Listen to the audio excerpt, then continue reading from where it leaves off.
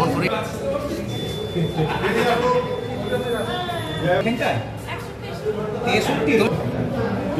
হ্যাঁ। হ্যাঁ ওই তো বাচ্চাটা, ঠিক আছে।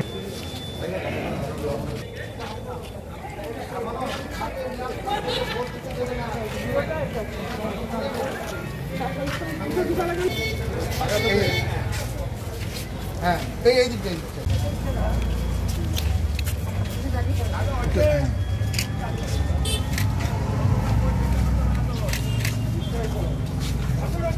নয়ন আছে তো নয়ন আছে তো নয়ন তো থাকবেই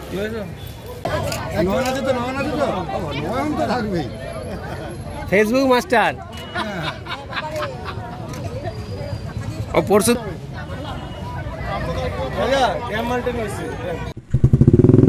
আমরা সরাসরি স্টুডিও থেকে এই মুহূর্তে চলে এসেছি। বর্ধমান পৌরসভার যে নির্বাচনের বর্ধমান শহরের তেইশ নম্বর ওয়ার্ডে এবং সেখানে দু হাজার বাইশের মনোনীত প্রার্থী যিনি রয়েছেন মৌসুমী দাস আমরা সবাই জানি দক্ষিণ দক্ষিণ যে বিধায়ক রয়েছেন, আমাদের বিধায়ক, দক্ষিণ বিধায়কের তিনি ওয়াইফ এবং এবার এবার প্রথম তিনি মনোনীত হয়েছেন প্রার্থী হিসাবে। তো তার এই প্রার্থী হিসাবে মনোনীত হয়ে কেমন লাগছে? প্রথমত তার কাছে একবার চলে যাব এবং জেনে নেব, তার সাথে কথা বলে নেব আমরা।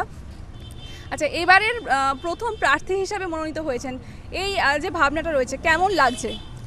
প্রথম প্রার্থী হিসাবে মনোনীত হওয়ার পর আমার প্রথম প্রথম একটু ভয় লাগছিল।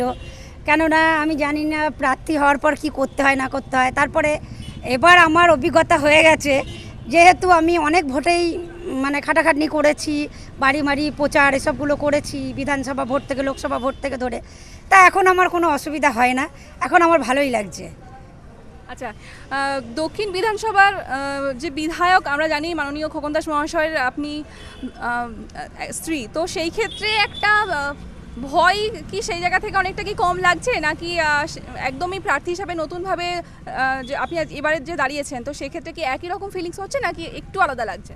না আমার একটু আলাদা বলতে কিছু না। এখন আমাকে মানুষ এমনভাবে মানে আপন করে নিয়েছেন সেখানে আমার ভয় বলতে কোনো কিছুই লাগছে না। এখন আমার মনে হচ্ছে সব এই ওয়ার্ডের মানুষজন সবই আমার আপন। সেই হিসাবে আমার কোনো ভয় নেই। আচ্ছা প্রার্থী হিসাবে প্রথম ভোট কি দেওয়া হয়েছে? হ্যাঁ ভোট ভোট তো আমি দিয়ে এসেছি, তবে প্রথম দিইনি আমি চাইছি আমার, আমাকে যেহেতু ভোট দেবে, মানুষ আগে ভোট দিই আমি মাঝে ভোট দিয়েছি।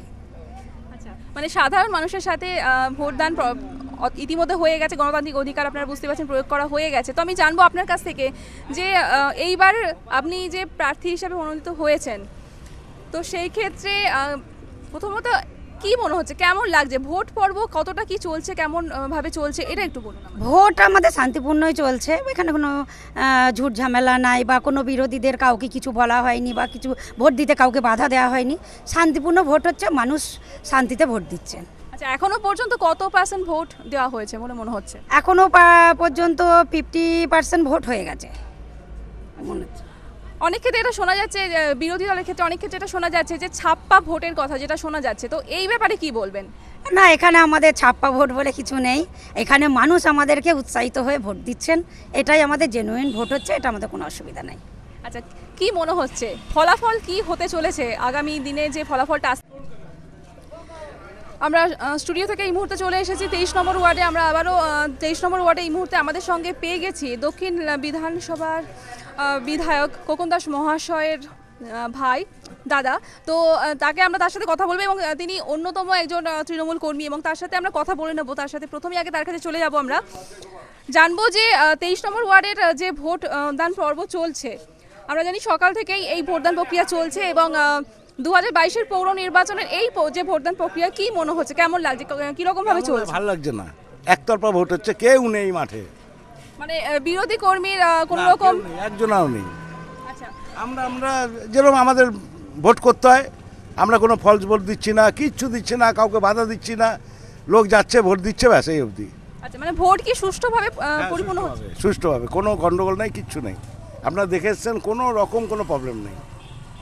আর ভোটের কি মনে হচ্ছে? ফলাফল যেটা হতে চলেছে এই সম্পর্কে কি কি বক্তব্য বলবেন? কি রাখবেন? আমাদের তেইশ চব্বিশ নম্বরে সবচেয়ে বেশি ভোটে জিতবে। এদিকে মৌসুমী দাস আমার ভাইয়ের বউ ওইদিকে মানিক দাস খোকন দাসের ডানাত সবচেয়ে বেশি ভোটে জিতবে এরা। মানে জয় নিয়ে একদম নিশ্চিত। নিয়ে আমি কিন্তু অসন্তুষ্ট। তার কারণ হচ্ছে বিরোধী কোনো দল নাই ঠিক আছে? কোনো মানে এজেন্ট যায় নাই পর্যন্ত। আমরা চাইছিলাম যে এজেন্ট বসুক ভোট করুক ওরা কিন্তু কেউ যায়নি। মানে ভোট কেন্দ্র যেখানে রয়েছে তেইশ নম্বর ওয়ার্ডে যে ভোট কেন্দ্র রয়েছে সেখানে কোনো রকম বিরোধী এজেন্ট দেখা যাচ্ছে না। না কোনো বিরোধী এজেন্ট নেই।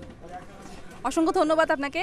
শুনে নিলেন আমরা জানতে পারলাম যে তেইশ নম্বর ওয়ার্ডের যে ভোটদান পর্ব চলছে এখানে সুষ্ঠুভাবে কিন্তু ভোট প্রক্রিয়া চলছে এবং আমরা অবশ্যই চলে যাব আমাদের পরবর্তী যে ওয়ার্ডগুলো রয়েছে সেখানে আমরা যাব এবং আপনাদের সামনে সেই চিত্রও তুলে ধরবো। আমরা এখন সরাসরি চলে যাচ্ছি আবারও স্টুডিওতে।